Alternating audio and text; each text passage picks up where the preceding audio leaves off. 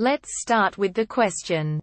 Random item drops I'm making a fun survival server in which the player has to keep adding items to the generator. Or else the item dropper will lose power. This item dropper drops items needed to power the generator. And the only way to get regen is from potions dropped by dropper.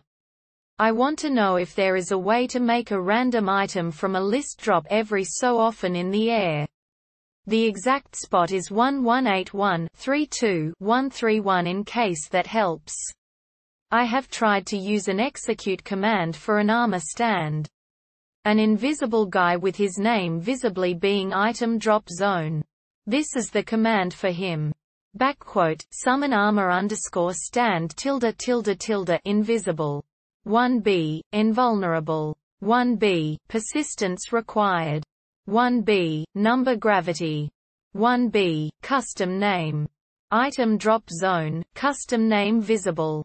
1b. This shouldn't really change anything for an execute except the at e. Type equals stuff, but I need help with that part. How do I make one? A chain of commands that allows me to do a random command out of like, let's say, eight different commands I already have and 2. A command to have as my guideline. Like the working version of execute at E.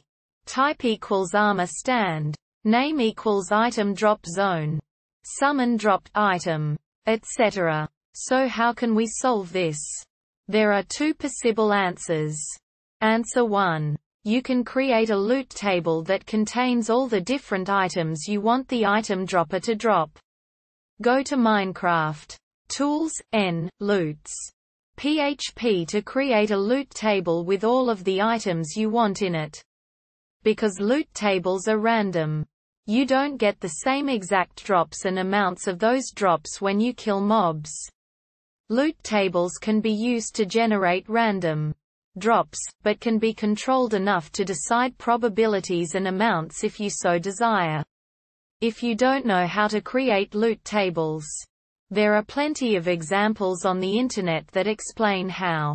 Once you create your loot table, copy it to your clipboard and go to your World Saves folder. The World Saves folder's name is default to World on servers.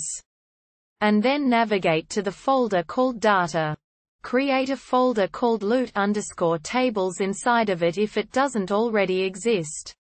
Inside of that folder, create a folder called custom underscore drops. Inside of the custom underscore drops folder, create a folder called entities. Then in that folder create a text file called item underscore dropper. JSON with your loot table pasted inside of it. In your Minecraft world, use this command to summon the armor stand. Summon armor underscore stand minus 1181 32 to 131 invisible. 1b, invulnerable. 1b, persistence required. 1b, number gravity. 1b, custom name. Item underscore dropper, custom name visible. 0b, death loot table. Custom underscore drops. Entities, item underscore dropper. Then kill the armor stand with the command, kill.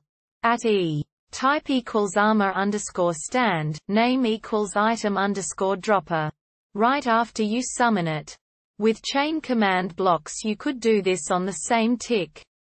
This will summon an armor stand with the loot table created. And then kill it to make it drop the items in the loot table. Keep in mind that the mob loot game rule must be on for this to work. Use game rule do mob loot true to toggle mob loot to true. Answer 2. My first idea would to build a few redstone randomizers that run from a clock. Activated by a command block that tests to see if there is power. Ah. Potions. In the generator. And every so often the clock will activate. And the randomizers would activate a random command block that spawns in an item at the spot. You can look up a tutorial on how to make a redstone randomizer. And it should be pretty straightforward from there. But as for a command block chain, I couldn't tell you, I do not know much about command blocks. If you need it to be a command block chain, might have to wait for another answer. I hope these answers helped, and if they did, please drop a comment and subscribe.